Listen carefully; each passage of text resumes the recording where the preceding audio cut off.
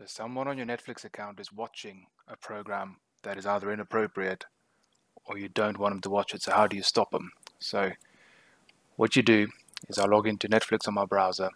I'm going to click on my daughter's account and here's all the stuff that she watches. So let's say for example I don't want her to watch Inspector Gadget. So you can see Inspector Gadget is there. You exit your child's account, go into your account holder's account. Just checking over your new Go hire to your account. In your account, you've got all your different profiles and parental controls here. Click down on the one you want to restrict. You can restrict any of them. And it's under viewing restrictions. Click change. You need to enter your Netflix account password. Continue. So you can also here do your general sort of um, maturity ratings. And here, here's, here's the shows that you want to restrict. So I've already got a couple of shows on here.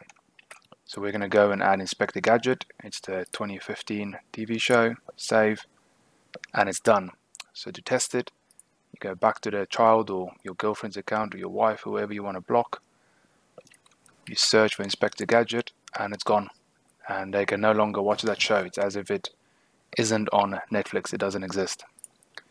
To reverse the action, you just go back into the account holder's account, account, profile and parental controls, viewing restrictions, enter your password, and it's instant with this. So if you go back to the other account, you search, and there we go. Inspector Gadget is back, and that is how you block content on Netflix that you don't want someone to watch. Thank you.